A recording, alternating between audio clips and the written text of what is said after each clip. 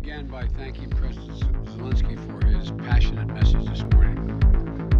I listened to it in the private residence, and uh, it was convincing and uh, significant speech. Now I'm once again using my presidential authority to activate, uh, to activate an additional security assistance to continue to help Ukraine fend off Russia's assault. An additional $800 million in assistance. These are the large, these are direct transfers of equipment from our Department of Defense to the Ukrainian military to help them as they fight against this invasion.